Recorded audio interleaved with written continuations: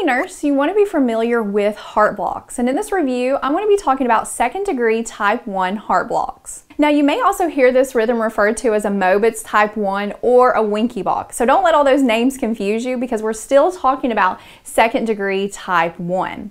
Now the reason that this rhythm is occurring is because the electrical signal that's going from the atria to the ventricles is getting progressively slower until it doesn't really stimulate the ventricles to contract hence produce a QRS complex. So all of a sudden we will drop a QRS complex. Therefore, the key to help you really understand this heart block from all the other types of heart blocks is that that PR interval is going to gradually start lengthening. So whenever you look at that rhythm, you're going to notice that the P wave is getting further and further away from the QRS complex. And then all of a sudden, there's a P wave, but a missing QRS complex. And then the cycle is just going to repeat itself again. Therefore, whenever we look at the the characteristics and criteria for this to be a second degree type 1 heart block, you're going to see normal looking P waves. And the P waves tell us about the atrial rate and atrial rhythm. So the atrial rate will be normal, the rhythm will be regular, but the hallmark is that we're going to have gradually longer PR intervals until we don't have a QRS complex behind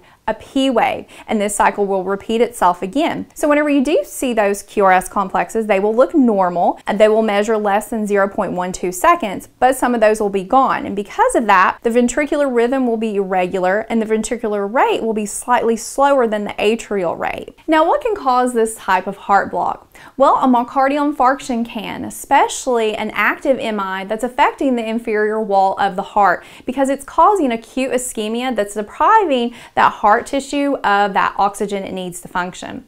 In addition, medications can do this, like calcium channel blockers, beta blockers, digoxin, rheumatic fever, and increased vagal tone. Now, how is a second degree type 1 treated? Well, first of all, you want to assess your patient and see if they're having any symptoms. If they're not, you want to continue to monitor them, and a cardiologist may be consulted just to further evaluate the patient. Sometimes they need medication stop that slow that AV conduction system, such as the calcium channel blockers, beta blockers, digoxin, and that will help them. But you also want to evaluate your patient, make sure that they're not having a heart attack and MI, and if they are, they need treatment immediately. Now, let's say your patient is having symptoms symptoms. They're presenting with signs and symptoms that shows you that they're having low cardiac output, that it's falling. The heart's not able to pump blood and maintain itself. So the patient's having mental status changes, they have a really weak pulse, their blood pressure is severely low, they're pale, they're dizzy. All that's telling you, hey, my patient is not perfusing fast, something's wrong. So with this, you want to activate the emergency response system wherever you're at. And with this, sometimes what will be ordered is atropine or temporary pacing. Okay, so that wraps up this review review on second degree type 1 heart blocks.